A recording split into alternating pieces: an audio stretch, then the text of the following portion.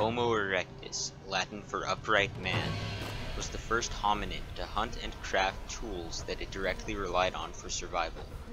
But they were not the first hominid to use basic tools.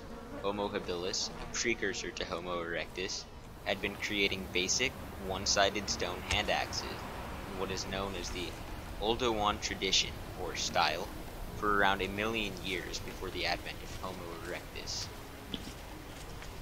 However, the most groundbreaking development in Homo erectus tool use was the jump from the Oldowan tradition of tool crafting to the Acheulean tradition of tool crafting. This advancement in technology began 1.8 million years ago and concluded around 1.5 million years ago, a time span of about 300,000 years, with the oldest known Acheulean tools having been found in East Africa. But what does this mean? Basically, rather than hard percussion chipping of volcanic rock with another stone, Homo erectus refined the Oldowan technique to use soft percussion chipping, uh, using bone or hardwood to chip stones rather than another stone. This fine control allowed them to create bifaced, as in two-sided, oval stone hand axes with relative ease. It is likely these Acheulean tradition hand axes actually served multiple purposes, from cutting to digging to butchering animals and cracking hard nuts. But that's not to say that Homo erectus only used these axes. Other known tools included choppers, cleavers, and hammers, according to a webpage hosted by Palomar College. Today, we can use the distribution of Acheulean tools as a marker of when new technologies arrived to different Homo erectus populations. By 1.4 million years ago, these advanced tools had spread to what is now Israel and Western Asia. Between 900,000 and 500,000 years ago, Acheulean tools had arrived in Europe, and around 800,000 years ago, they had arrived in China. This effectively covers the entire known Homo erectus range.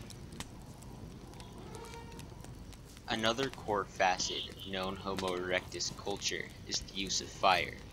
A notable example is the Zhoukoudian site in northern China, where there are caves that contain Homo erectus remains, as well as stone, charred animal bones, collections of seeds, and what appear to be ancient hearths and charcoal. This site is dated to between 700,000 and 400,000 years ago, long after the Acheulean tradition of tool-making had already reached China.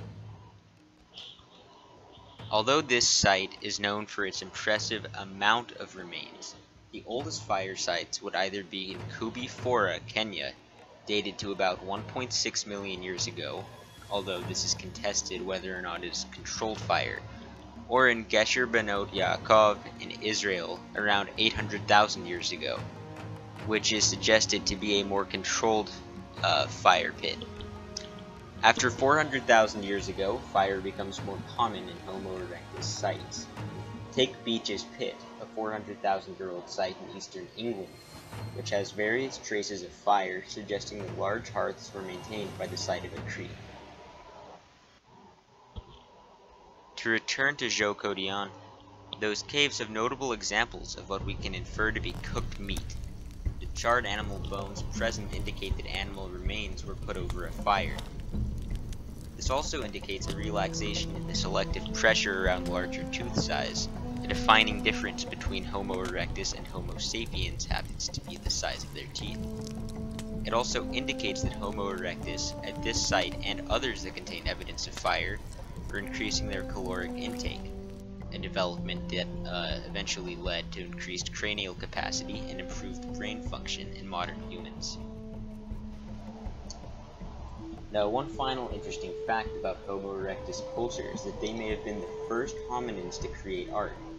At the Trinil site in Java, Indonesia, an engraved shell was discovered, dated to between 430 and 540,000 years ago, it may be the oldest instance of geometric engravings, or art in general, known to humans.